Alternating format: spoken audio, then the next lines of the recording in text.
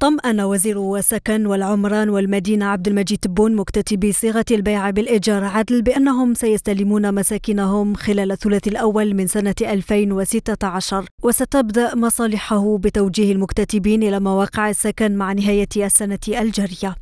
إحنا التزمنا أن آه، في نهاية 2015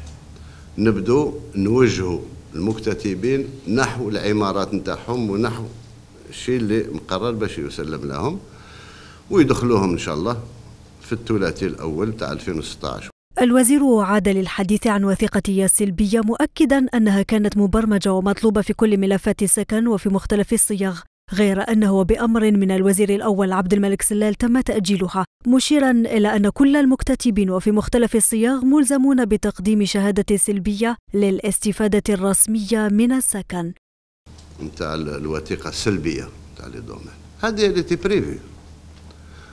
موجودة موجودة بالنسبة لل اس بي موجودة بالنسبة لل بي وموجودة بالنسبة لل دي ال ذاك الوقت بأمر ما تحت إلحاح المواطنين. الوزير الأول أمرنا باش نأجلها. باش ما تكونش وثيقة ضرورية للتسجيل وإلا حتى واحد ما يتسجل إحنا نعرف باللي certificat négatif ما يعطوهلكش قبل خمس شهور ست شهور سبع شهور لأن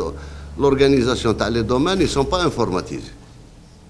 bon إحنا عطينا مهلة دروك أنا عاطين مهلة نصوم في مارس مازال مهلة تاع 8 شهور باش يجيبوا لنا هذا